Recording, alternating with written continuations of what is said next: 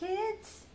It's Miss Sally and Ricky, the raccoon, and we're here to tell you another story from the Bible. And if you remember last week, we talked about the very first story in the Bible, the very first book. That's right. Ricky remembers the name of the book, Genesis. That's right. You see, inside of here are 66 smaller books. And those books all tell of God's love for us. And they start in Genesis.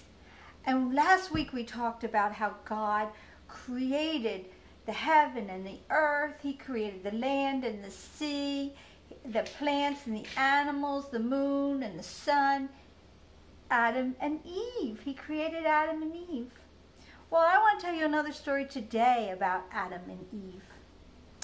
You see, God put Adam and Eve into that garden and he just told them one simple request. God said, I love you. I'm giving you this whole beautiful place to live and you can eat anything you want, any from any of the trees, any of the vegetables. Help yourself, except for one thing. I got this one tree right over here. Don't eat, don't mess with it. Don't even touch it. Don't eat that pretty fruit. Well, every day God came, every evening God came, and he talked to Adam and Eve in the garden. So one day, Eve is wandering around the garden, and there was a serpent in a tree. And the serpent looks down at Eve and says, Can you eat from anything in this garden? And Adam says, Eve says, Well, almost anything. God said not to eat from that one tree, but anything else, we can have it. The serpent said, You know what? God's making that thing up about you're going to die from eating that fruit. He knows it's just going to make you smart. It's just going to make you know the difference between good and evil.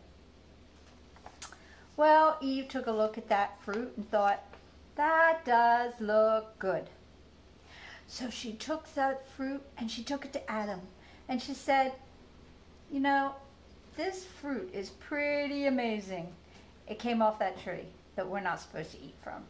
But I have it on good word from the serpent that it's not going to hurt us. Well, Adam and Eve, maybe he had to take time to think, but in the end, they ate from that tree. You know what happened? Oh, let me show you this picture up close because I just love this artist. Look, this is how the artist drew a picture of Adam and Eve and they made it look like an apple. I'm thinking it looked more like this luscious peach. I had one yesterday. I'm going to have another one today. They're juicy and good. And I can't wait to eat it. Maybe like Adam and Eve. Well, they ate from that tree. And you know what happened? They didn't die. They did learn about good and evil. They knew that God gave them all that good garden to enjoy and to eat from. And they learned that evil is disobeying God. And they did that one evil thing. They did the one thing that was a, was a sin, that was disobedient to God. And that was they ate that fruit. So they really did understand good from evil that day. Well, every night, just like God would, that night, God came to the garden and he was hanging out with, he was looking for Adam and Eve. Well, they had decided to hide. They were nervous about running into God again tonight. So they went and hid. Well, do you think they got away with that? No way. Of course not. God knew where they were. He knows where we are. He knows where everyone is. We can't fool God. God found them in the garden. And the first thing he said was, Adam, did you eat from that tree? Now, you know, God knew the answer to that question, but he asked it anyway.